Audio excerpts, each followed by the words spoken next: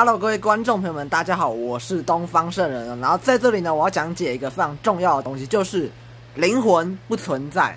为什么灵魂不存在呢？以上有几个理由。第一个，如果人的灵魂是真的存在的话，那么灵魂会堕入六道轮回之中，那么这永远没办法解脱，也不是一个解决问题的方法。所以，不管从道理上面，还是从佛陀的实修实证的角度来看。灵魂都是不存在的。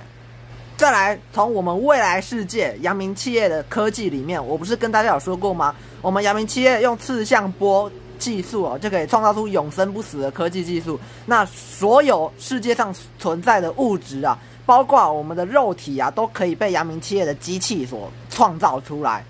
但是阳明企业的机器哦，却无法创造出一个具有生命的东西。因为没有灵魂啊，有灵魂要怎么创造？我们下期再续。